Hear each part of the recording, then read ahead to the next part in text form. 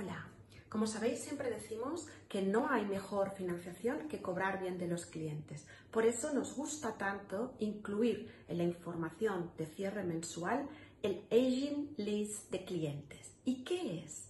Es un listado que muestra la antigüedad de saldo de clientes y nos permite ver nuestra deuda de clientes clasificada por antigüedad y de un vistazo rápidamente ver que nos deben a 30, a 60, a 90, a 180 días y así poner manos a la obra para recuperar esa deuda.